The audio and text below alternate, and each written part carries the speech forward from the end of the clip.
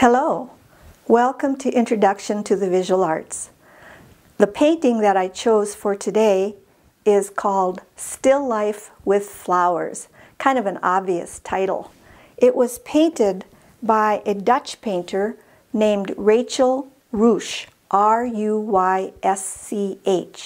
Rachel Ruysch painted so many beautiful still lifes of flowers that she became known as the best woman painter in Dutch society about 1704 is when she painted this work. And about that time, her work commanded huge prices. The Dutch were always very, very interested in flowers. And so um, her work was very, very popular. So the reason that I chose this work is because all of these flower paintings had an element of memento mori. Memento mori was an idea that had been floating around for quite a long time, but it meant that even as you live, you should be reminded of death.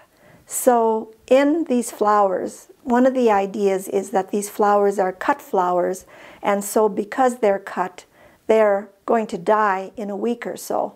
And lots of times in some of these memento mori pieces, or even the flower pieces, what you would see is you would see dead insects or something dead if you looked really, really closely. But even if you don't see something dead, some of the flowers look like they're not as healthy as other flowers.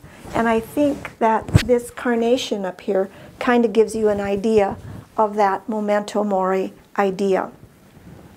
Now, when we study the history of art, many times women are left out of the history books.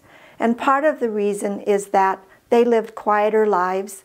They couldn't they didn't live in the public so much.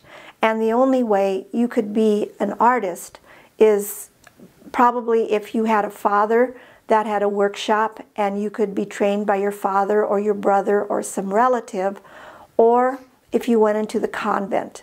Those were the two big ways. Now, if you go back into the archives of lots and lots of galleries, there's lots of works on that they have stored away that have been done by women. But women just did not get the notoriety that men did. And so for Rachel Ruysch to be the best woman artist in uh, the Netherlands at the time when she lived, this was quite remarkable. The other thing is women suffered stiff competition from male artist counterparts. The males would be very, very, well, artists in general were very competitive because there were not a huge number of commissions out there. So you really wanted to be very, very good. And so if there were women artists that you had to compete with, that was also something that was very difficult for women because men would, some men may spread rumors about women just to ruin their reputations. And this is well documented if you study uh, what women were up against um, in the world of art. Also, if you painted and were a woman, your work probably would not be paid as well as a man would be paid. What's new? We have this still in the United States.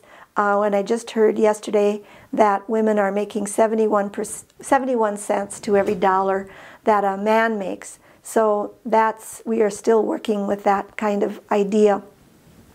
But she rose to notoriety, and she was one of the few people that had to, um, that was able to overcome that social stigma. So we have to applaud her. Now, remember this idea of memento mori, because when I explain to you how we're going to do the art project that is related to this painting, uh, I want you to have this idea in mind. I'll make another video about how to do the art project that is connected. Thank you for your attention.